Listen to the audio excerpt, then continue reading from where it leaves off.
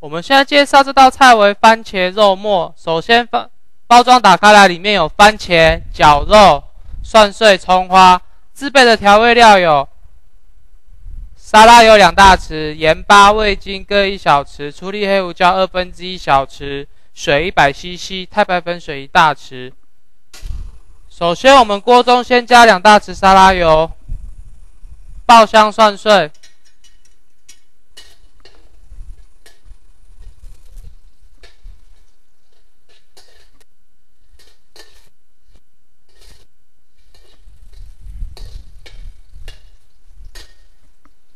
等蒜头的香气出来之后，放入绞肉。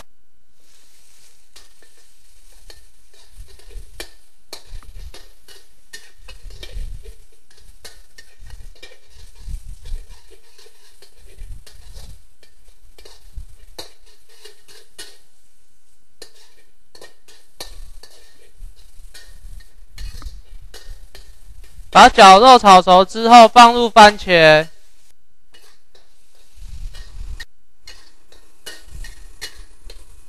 拌炒均匀之后，加入水一百 CC，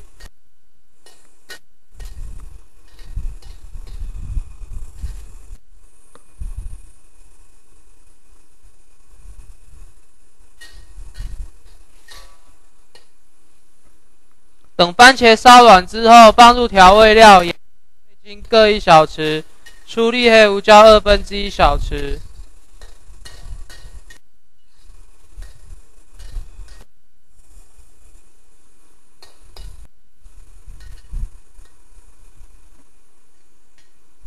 拌匀之后，放入葱花，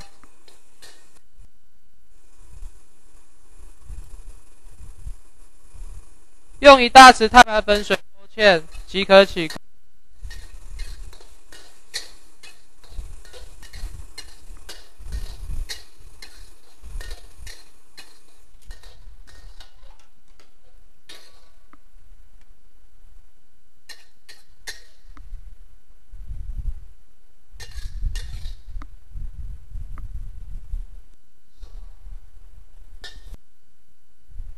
我们番茄肉末完成。